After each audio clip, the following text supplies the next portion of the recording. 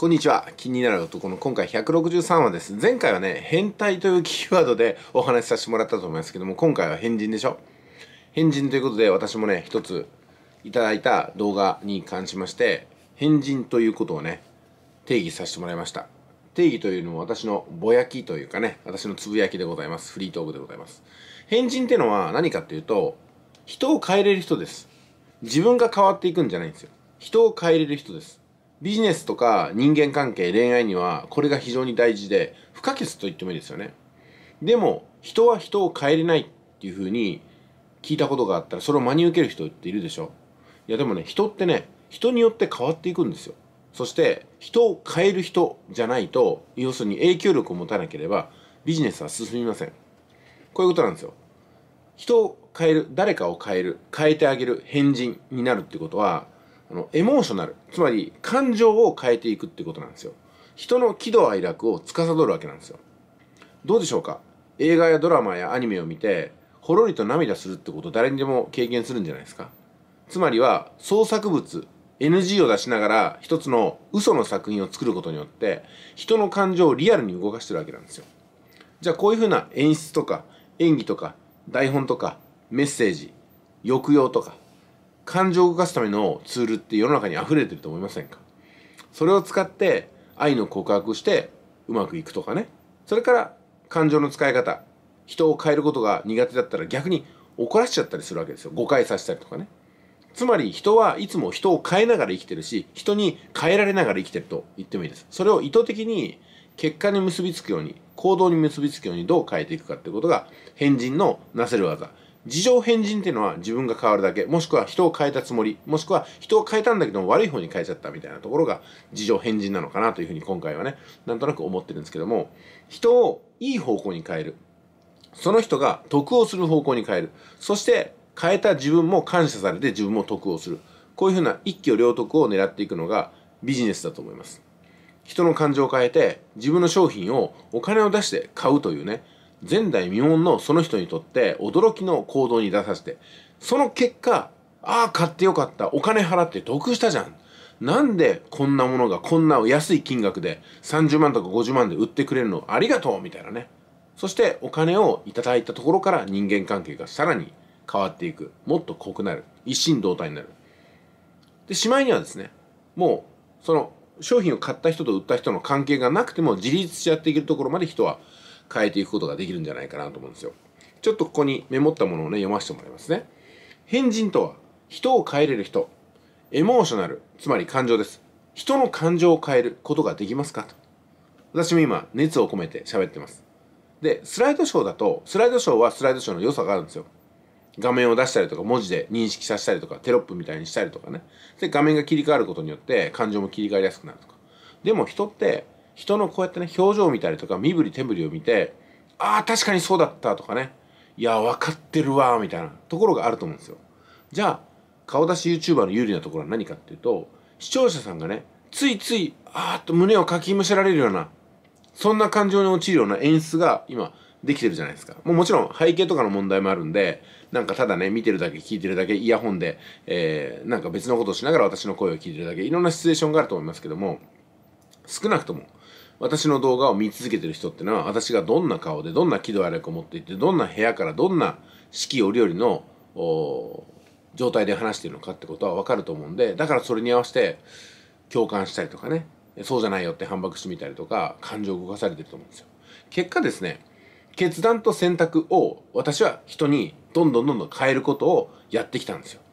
その人が決断しないような選択を私はさしてきてるんですよ。例えば暗号通貨なんて興味がなかった人に動画を送りつけることによって、ちょっとビットコイン買っておこうかなと。ビットコインはどこで買うんですか、久保さん。あ、このコインチェックって取引所で買うんですね。どうやって買うんですか？ちょっと URL 教えてください。URL これですよ。ね。そしたら、あ、本当だ。ビットコインが買えた。まあ1万円だけど買えました。ありがとう教えてくれて。の結果、私はビットコインを買ったコインチェックのアフィリエイト報酬が入ってるよっていう。口座開設のためのアフィリエイト報酬が入ってるよってことになるわけですよね。そしてそれを動画で撮ることによって、動画にもコインチェックのアフィリエイトの窓口、要するにバナーが貼られるんで、そこからも収入が得れるってことで、私は人に親切にした結果、その人が求める方向に結果と切断をあ選択を変えていってですね結果その手数料も入ってくるよってことなんですよでコインチェックとかビットコインっていうところに関しましては利用者が増えるんで、まサービスが売れたってことになりますよね。じゃあその仲介をした私にやっぱり報酬が入るということで両方からいっぱい360度からまあありがとうのお金が入ってくるってことなんですよ。それをずっとしてるのが何を変えてきたかなってことなんですよね。自分の環境も変えた。他者の環境も変えた。他者の人生も変えた。他者の商品も変えて売れるようにしたとかね。ズーム対談っていうのはまさにその人が集められなかった出会えなかった人に出会わしてその人が一人でやってたら売れないだろう。その売り上げを作ることに成功したとも言えるんですよ。じゃあ速稼塾っていうグループがあります。で速稼塾に新しく入ってきた人が何かね商品を売ろうとした時に私は速稼塾というえ自分の作ったコミュニティに対してどうぞと進めてみてくださいということによって速稼塾に入ってなければ売れなかったものが速稼塾に入った結果売れるっていうふうなね、まあ、そういうふうな、えー、行動と決断と思考と感情の変化を指すことができるようなコミュニティが今できてるかなそれが10年目ですよってことなんですよね。で塾生さん同士で新しいプロジェクトを立ち上げるっていうのもこれも人の人生を変えていくことになるのかなと思います。まあ、タカさんもね自分のコミュニティ持たれてると思うんでもう日々人の行動や選択やあ、えー、選択をね変えていっていると思いますんで多分これね共感するところがあると思うんですよ。私たちは自分が変わるんじゃないと。人を変えてきたよってことによって自分自身例えば A さん B さん C さんを変えたことがなかったんだけども A さん B さん C さんが変わることによって私たち自身も A さん B さん C さんを変える人生として自分も変えることができるって。だから他者に成長とか失敗とか進化を与えた結果自分もそれを資産としているっていうのがその正体なのかなと思うんですよ。もう一回ちょっとまとめて言います。変人っていうのは人を変える人というふうに考えると感情によって人を変えて人の感情を変えて人の選択と決断を変えて行動と結果を変えていくこと。そしてしまいにはね自分の補助がいらなくなるっていうところまで人を変えていくんですよ。そう。A さんと私っていう関係がもともとは別々に存在してました。いつか一緒になって速稼塾に入ってもらったその他の経験を通じて A さんを変えることができた結果 A さんは最初は速稼塾や私の補助がなければできなかったものをそれもいらなくなる。さらに変化してどっかに行って自立してやっていけるってことになります。変化しっぱなしですよね。それをずっと毎日商売としてやってるのが変人たる私と他者を変えるために私は存在してます。他者の売り上げ人生を変えるために存在してると。で中には悪くなる人もいるかもしれないからそのためのリスクヘッジもちゃんと提供していくっていうことになりますよね。うんだからねやっぱね何かに挑戦すると怪我はするんですよ。うん、でも片手片腕を失ってでも掴むべき人生があると思います。まさに自分の人生や愛する人の人生を抱えていくそんな時にはかける意義があるんじゃないかなと思います。もしかしたら怪我をするかもしれない。重傷になるかもしれない。命を時には失うかもしれない。でも自分の人生にそれぐらいの価値はあるんじゃないかなと思うんですよ。愛する人の人生に自分の身を差し出す価値はあるんじゃないかなと私は思いますけどね、まあ、こういうふうなことを繰り返していくことが人の感情を変えて動機づけをまずしっかりと持たせることになると思います。まあ、できてもできなくてもどっちでもいいんじゃないのっていうことでしたら多分どうしてもやろうって気持ちにはならないと思うんですよ。まさに人間は感情の生き物ですからその感情をいかに司るかが私たちそうまさに気になる男に私たちがなっていかないといけないよねと。こういう時って久保さんってどういうふうに考えるんだろう？ちょっと聞いてみようかな。メールを打ちたくなる。気になる男にどれぐらいになってるかなと。こういう時タカさんはどういうふうに考えるんだろうか。ちょっとメール打ってみようかな。タカさんが気になる人になっている。まさにこの気になる男シリーズは私たち発信者のことを気にしてもらえるようにいろんな側面いろんな感情を見せていくことなのかなと思います、はい、じゃあ最後にね、えー、車の免許についてちょっと例え話をさせていただきます。私たちは最初から車の運転ができているわけではありません。ある時車に乗りたいな。自分で運転したいな。どうしても運転したいな。え車運転するのに免許がいるの？じゃあいいや。っていう人もいれば 免許を取るためによしスクールに通うぞ。えスクール費用30万もかかんの？しかも2ヶ月もかかんの？あー時間も取れないし金もないしまあいいや。っていう人もいます。でもいやめんどくさいけども金もかかるけども教官に怒られるかもしれないけどもでもどうしても運転免許がいるんだと。運転できるようになりたいんだと。車は高いけども買いたいんだっていう気持ちが強ければ教習所に通い試験を受けて免許をゲットして事故のリスクもある道路に自分一人で出ることになるんですよ。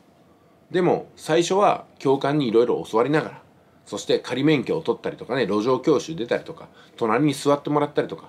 いわゆる補助輪をつけた状態で教官にいろいろと手取り足取り安全対策してもらいながらこうやって恐る恐る行きます。でもそのうちに教官はいらなくなりますよね。自分一人で運転できるようになる。しまいには自分の街を運転するだけではなくてもう自分のね見知らぬ土地まで行ってみようかなって好奇心に出ます。そこでは乱暴なドライバーさんがいるかもしれない。複雑な交通事情があるかもしれない。その土地特有のしきたりがあるかもしれない。でもそのリスクを込みで行ってみたいやってみたいと思えば飛び込んでいくわけなんですよ。まさにビジネスと一緒。最初は手伝いがいるけどもそのうち一人でリスクに飛び込んでいこうとする。そしてそのリスクを一つ一つクリアしていって未知の領域を広げていくことが自分のマーケットを広げることになるんですよね。だから1億円に到達するんですよ。売上1億円というとですね単純に何もなく繰り返してたら1億じゃないです。見たこともないようなトラブルに見舞われて例えば1000万しか売ったことがない人のトラブル処理と1億円売った人のトラブル処理全く違いますからね。やっぱりそこに9000万円の開きがあるんですよ。だから売り上げを作ってきた人何かの道を追求してそこまでたどり着いた人っていうのはそうなってない人に比べて飛躍的に何か結果そして人の感情を変える力があったりとか耐えうる防御力や精神力を強く持ってるっていうところがあるんではないかなと思います。はい、えー、というところで今回は以上ですね。そう車の免許に例えるとね最初は恐る恐るハンドルを握った人でも今楽勝で乗ってます。でも油断すると足元をすくわれて詐欺にかかったりとかいらない商材買ったりとかするわけですよね。つまり交通事故ってことですよ。じゃあ交通事故に遭った時に全部を失うようなことしますか？ちゃんと保険に入ってるでしょと。これは自分ではさばけそうにないなと思うところには近づけなかったりとか崖のそばを走らなかったりとかね狭い道を行かなかったりとかするわけなんですよ。というところで適度に自分の立ち位置が収まっていくんではなかろうかと思います。今回は変人というテーマでお届けしましたけどもあなたは自分自身を変えることが変人だと思いますか？人を変えることが変人だと思いますか、はい、人を変えれる人ってなかなかいないと思いますけども実は私たちはいろんな人の影響で自らを変えながらそして同時に誰かを変えながら生きてるんではなかろうかと思います。それが人間社会なのかなというふうに思いますけどもね。変わらない部分も大事ですけども変えていく部分もやっぱり必要なのかなと。そのコントラストやモザイクのように貼り合わせた人生の縮図そのものがビジネスなんじゃないかなと思いますけどもいかがお感じでしょうか？それではお疲れ様です。